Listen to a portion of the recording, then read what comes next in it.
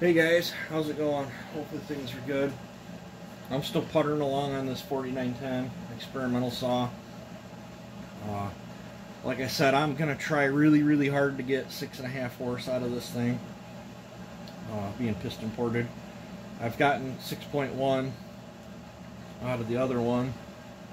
I've gotten 7.2 out of my reed saw version one. So I, I really feel six and a half is capable. Uh, I'm I'm not going to share my uh, numbers on this because this is an experiment and I don't know if it's going to turn out good or not. But it is it is dual. I guess it's dual ported. I guess is what you want to want to call it because I ported it uh, just to scooch over like one of my warm firewood builds, and then the rest of the timing uh, for the transfers and the piston or the exhaust timing I took out of the piston so if uh, I don't like the power characteristics of it with these timing numbers all I got to do is buy another piston throw it in there and it should be pretty close to a six horse pretty close to that six horse build. Uh, so uh, I dual purposed it that way so the when I show you the piston you guys will think it's kind of ugly and funky looking uh, it's just a prototype. I'm, I'm trying things. But, uh, let's see if I can. I don't have my flashlight. It's charging right now. But there's the exhaust. Uh, like I said, I cut this out huge. And when you do it as big as I do, uh, second ring plays heck getting in there. It's kind of a little fidgety, but if you're careful, you can do it. I, I opened up the transfers absolutely massive. Uh, I took them as far as I dared take them. I could probably go a little more out on the wall, but uh, I mean, for 50 cc's, these are plenty, plenty big enough. I dropped that web a little lower than I typically do. Um, on V8s, when I used to build V8s, uh, the, the web on a dual plane intake, if I was forced to run a dual plane intake, I'd, I'd cut a little notch out of the, the webbing there. I don't know, I'd go in about probably a half inch down three quarters of an inch straight across the belly and then up. And then I'd round it and uh, believe it or not that would make about 25 horse gain on a dual plane intake on a 350 so uh, miniature scaled down version I'm gonna gonna try it on the transfers on these. There's the uppers. Uh, I did do my wing. I didn't do a big wing. Sometimes I do a big wing sometimes I I do a little little wing. I chose a little wing on this one to give me some more piston support in there. Uh, it's got the kidney bean, lung, tonsil, bat wings, bat ears, uh, whatever you want to call it. Uh, the 4910 seem to like them. Uh, they like them either or. If they if they're not liking this, I'm not seeing a loss in power. I don't necessarily know if I'm seeing a gain in power, if that makes any sense. So this is this is all all done, and uh, I'll show you another way to increase uh, a little bit of compression after you do a do a base cut uh, on here.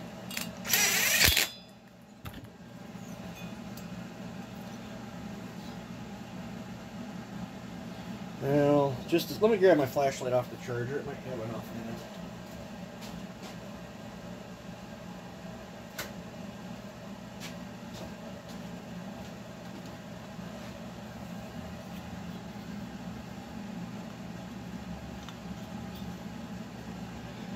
See that compression release?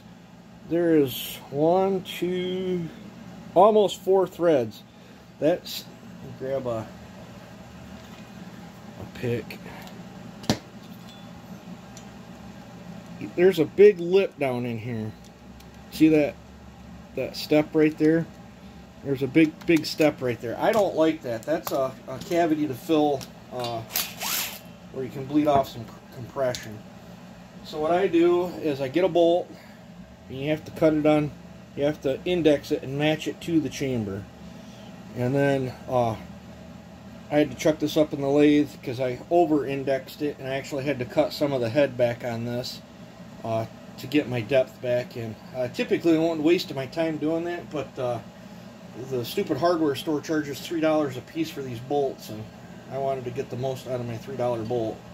So uh, it's a 10 millimeter I don't know. I think it's a one two one two five or whatever they whatever they call it there. I just take the jug down there and thread thread one in, and uh, see if you can see it now. I got once I snuck torqued that with a torque wrench because I uh, I in, indexed it. Now it's flush to the well that light about blinding you. Now it's flush to the chamber, and I matched it to the chamber. And I like to smear some Loctite around that bolt when I uh, go to, uh, well, I've washed my indexing. Well, no, it's still there. Right, right there, that uh, shiny spot. I got to torque that bolt around until it gets to that uh, shiny spot there. And then I know my it's dead flush to my chamber. So that's just one little trick that you guys can do uh, to get a little extra uh, bang out of your you know, your 4910s, 501s, and uh, I'll show you the piston work. It's ugly, but don't don't worry about that. This is a this is all in testing phase. I didn't even get all the scratches out. I had to do this pretty crudely, but uh,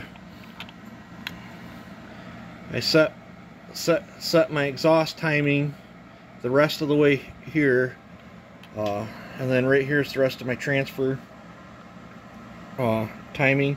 And then I didn't do nothing to the intake.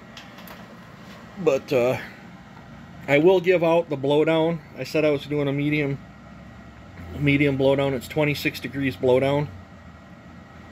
It looks steeper in here because I started cutting into the dome. I cleared a path. I wanted a little extra flow out of my out of my transfers. Uh, like I said, we're trying things. But what's cool is if I don't feel this has enough, enough torque or enough compression or, or whatever, all I got to do is buy another piston and throw it in here in that same jug. And then I have a totally different set of numbers and uh, should be a pretty rootin' tootin' uh, work. So I did take the exhaust out a little bit wider on this one. I, I'm going to have to pop this gasket off and grind this out to match. And I know there's going to be two bulges here and here that I, that's going to interfere. But this saw might be getting a pipe on it. Um, I don't know. I haven't made my mind up yet. I might might be throwing a pipe pipe on it. I know if I throw a pipe on it, I could for sure get my six and a half horse out of it. I bet my 6.1 one would be over six and a half with a pipe on it. But uh, I, am really shooting for uh, piston ported muffler. I would like six and a half horse piston ported muffler. And uh, I think when I do the muffler mod, I have not done one of my buckshots or double barrels or whatever you guys want to call them. I'm not going to sit there and argue. I've not done one on a 4910. I think uh, I like how, how that sounds on that 620. So I, I think I'm going to try to do a double barrel buckshot looking muffler on this one. Uh, this is still the stock carburetor. Um, I got to, uh, I, I, did get that carb. Well, let me put you back in the holder here. I did get the carb back together and running on the one that uh, uh I cut out on the lathe the other day. Uh, it's sitting on this 501 over here. This is, uh, you guys have seen this one on the channel before. It's set up with 3 8 24 inch bar. Uh, I got a